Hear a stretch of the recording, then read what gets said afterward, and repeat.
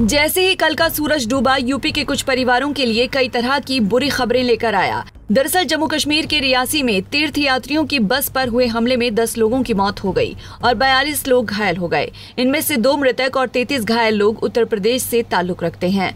घटना के बाद से ही पूरे इलाके में कोहराम मच गया। जम्मू के रियासी इलाके में चप्पे चप्पे पर सुरक्षा बल तैनात कर दिए गए हैं।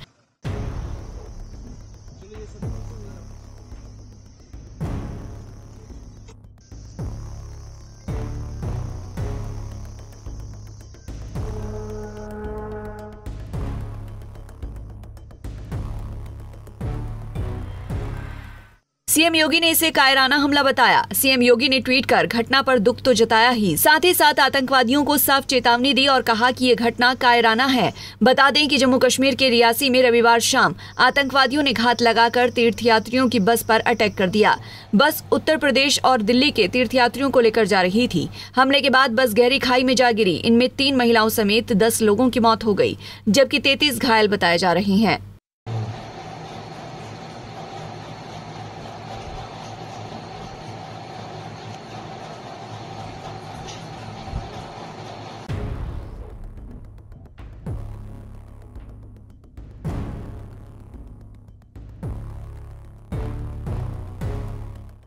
बताया जा रहा है कि शाम करीब छह बजकर पंद्रह मिनट पर गोलीबारी के बाद तिरपन सीटर बस सड़क से उतरकर गहरी खाई में गिर गई। आतंकवादियों ने बस पर उस समय गोलीबारी की, जब वो पौनी क्षेत्र के तेरियात गाँव के पास शिवखोड़ी मंदिर से कटरा में माता वैष्णो देवी मंदिर जा रहे थे।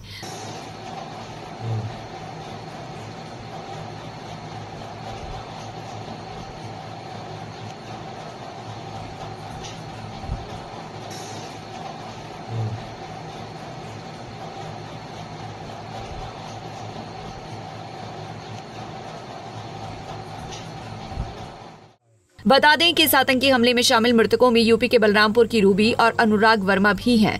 वहीं यूपी के घायलों में सबसे ज़्यादा लोग गोंडा के हैं। यूपी के गोंडा के घायलों में शामिल परिवार के एक सदस्य ने कहा कि किसी का फ़ोन आया था जिससे घटना की जानकारी मिली।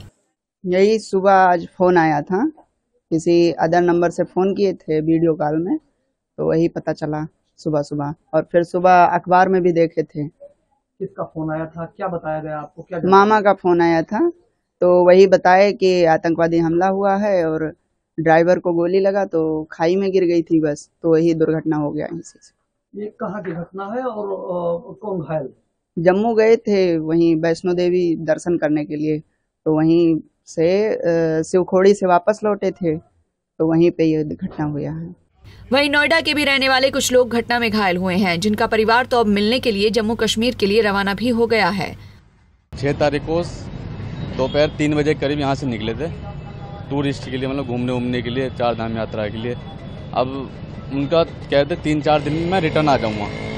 और फिर आज सुबह फ़ोन आया मतलब मुझे इन्फॉर्मेशन मिली कहीं से कि क्या नाम है मतलब वहाँ पे एक्सीडेंट जो भी हुआ हो, घायल वायल बस पलटी हो, वहाँ फिर फिर अब हम वहीं पे, वहीं के लिए निकल रहे हैं। आपकी बातचीत हुई क्या कुछ बताया उन्होंने? उन्होंने जी बातचीत कुछ नहीं हुई बस इतना बोला कि हाँ मैं दुकान जा रहा हूँ मैंने कहा हाँ ठीक है। क्या ठीक है मैं एक आध दो दिन में अपना आज शाम का कल काम का टिकट है मैं अपना निकल जाऊँगा आ जाऊँगा। वहीं इस हमले में वाराणसी का भी एक परिवार घायल हुआ है जो वैष्णो देवी के लिए गया था। जैसे ही घटना की खबर घर वालों को पता चली घर वाले बेचैन हो गए। हालाँकि अब परिवार के लोगों से बातचीत करने के बाद उन्होंने राहत की सांस ली है।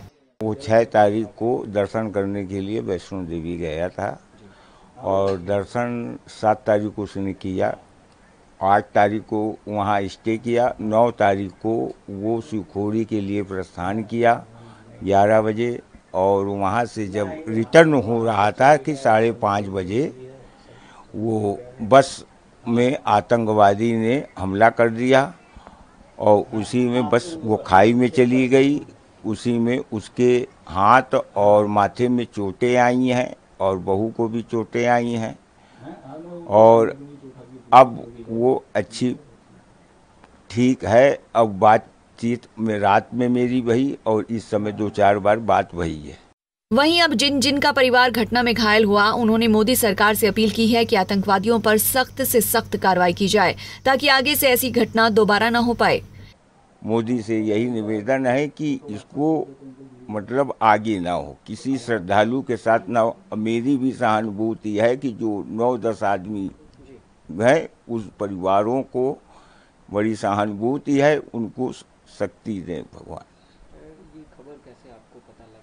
खबर हमको मोबाइल द्वारा हमको पता चला। और एक डेढ़ घंटे के बाद फिर हमने सूचना, कोई सूचना भी वहाँ उससे नहीं हो पाई। फिर ग्यारह, साढ़े ग्यारह बजे जम्मू प्रशासन द्वारा बात, मोबाइल द्वारा उन्होंने बात कराया और उसी समय वो मतलब कि बात भई। और आज सुबह भी बात भई। अब ठीक है, चोटें आई हैं, दोनों को चोटें आई हैं। अब ऐसे में सवाल उठता है कि आखिर अब आतंकियों से सरकार कैसे निपटेगी? हालाँकि जम्मू कश्मीर के एलजी ने घायलों से अस्पताल पहुंचकर मुलाकात की है और हर संभव मदद का भरोसा दिया है। हमसे जुड़े रहने के लिए हमारे YouTube चैनल को सब्सक्राइब करें और नई वीडियो की नोटिफिकेशन के लिए बेल आइकॉन को दबाएँ। अगर आप ये वीडियो Facebook पर देख रहे हैं तो लाइक ज़रूर करें और ज़्यादा से ज़्यादा शेयर करें। धन्यवाद।